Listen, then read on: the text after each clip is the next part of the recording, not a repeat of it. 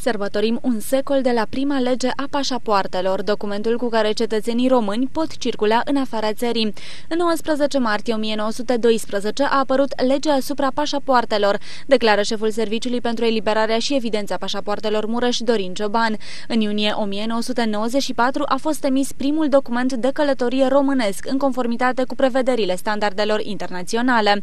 La data de 31 decembrie 2008 a fost pus în circulație primul pașaport simplu electronic electronic românesc, urmând ca în luna mai 2010 să apară un nou model al pașaportului electronic cu mai multe elemente de securitate. De la 1 ianuarie 2007 putem circula în afara țării fără pașaport, având cartea de identitate pe post de act principal. Aceasta ne ajută să ne legitimăm aproape în orice țară din Uniunea Europeană, fapt care reprezintă un real avantaj pentru cetățenii români.